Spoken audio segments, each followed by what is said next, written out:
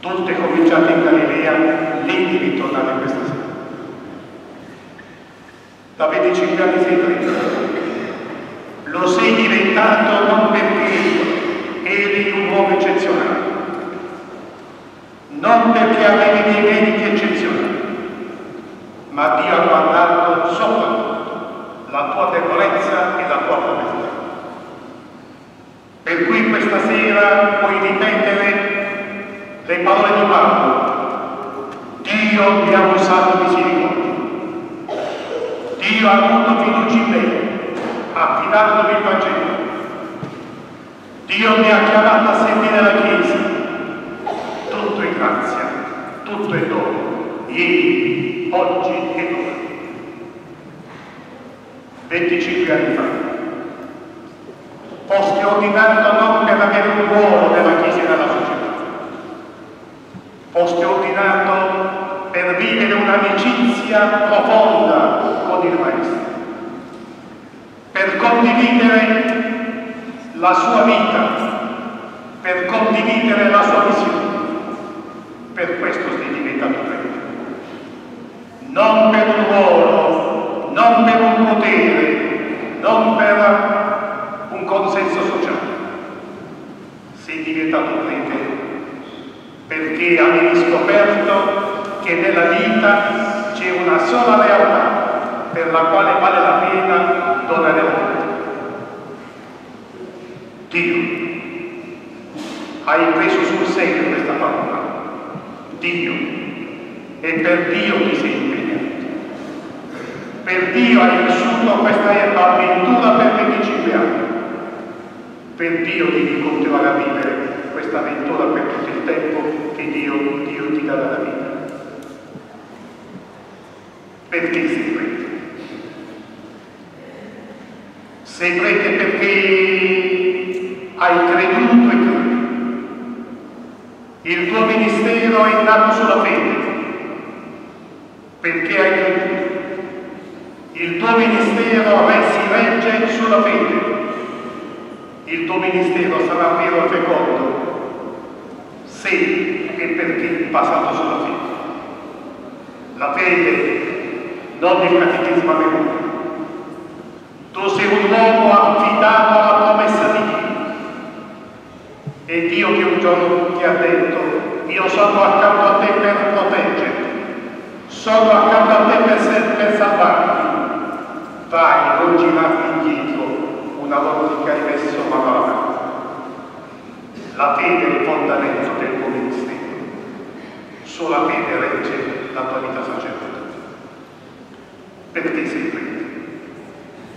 Perché dentro porti un fuoco, dentro porti un fuoco, come il profeta Geremia, il fuoco di Gesù Cristo. Gesù ti ha conquistato, Gesù ti ha contagiato, Gesù ha riempito non, ha, non hai avuto, non hai bisogno di altri surrogati, non hai più bisogno di niente, perché Gesù Cristo riempie la tua esistenza. Ma il fuoco di Gesù Cristo poi ti ha portato ad essere servo della comunità, perché hai scoperto di avere un dono da condividere. Hai un dono da condividere perché la vita di ogni uomo e di ogni donna di questo territorio possa essere una vita felice. La vita è felice se si incontra Gesù Cristo, perché si incontra Gesù Cristo, soprattutto se si incontra la vita del Maestro. Sempre, perché vuoi continuare la missione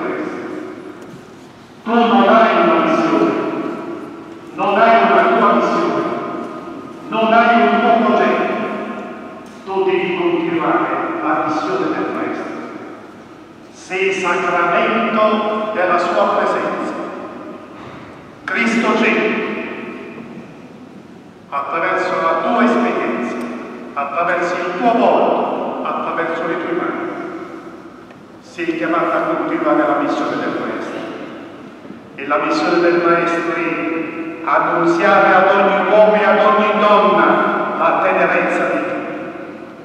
Per questo c'è Dio e Gesù perché potessimo sperimentare la tenerezza del volto di Dio, la sua misericordia, la sua vicinanza, la sua prossimità.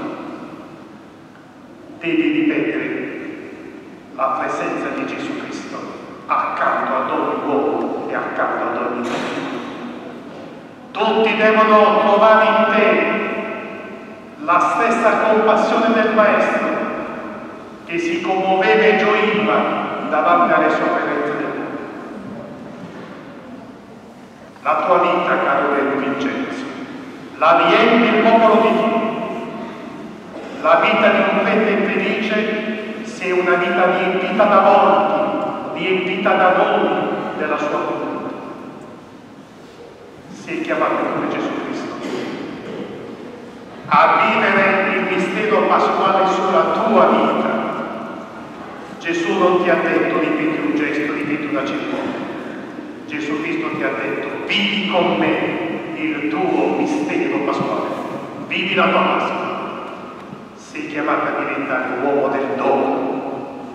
Devi donare non qualcosa, devi donare la tua esistenza totalmente e completamente al Signore e alla sua abitazione che è la Chiesa.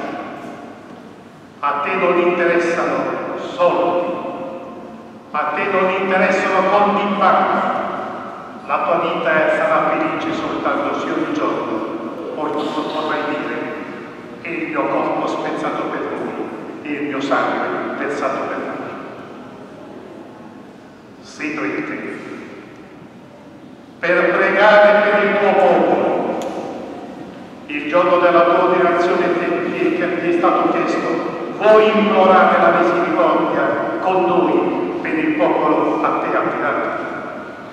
Come il profeta Geremia, anche davanti alla durezza del, del cuore della gente, hai un modo per toccarlo col cuore e di affidarlo all'intercessione. Sei prete per pregare per la tua gente ed è il primo servizio che puoi fare per il tuo popolo. Portate tutti con le mani alzate nel cuore e nel mondo e nel mondo di Dio. Perché su questo territorio a te affidato possa risplendere la bellezza della vita.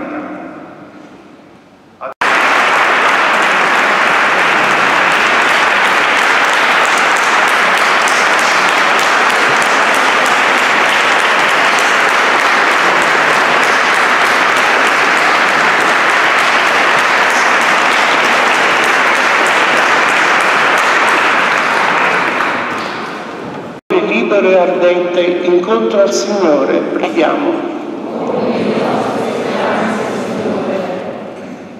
O Dio, che sei il liberatore dei poveri, vieni incontro alle speranze di quanti ti cercano con cuore sincero e dona a tutti i tuoi figli di esultare nello Spirito per la venuta del Salvatore, per Cristo nostro Signore. Amen.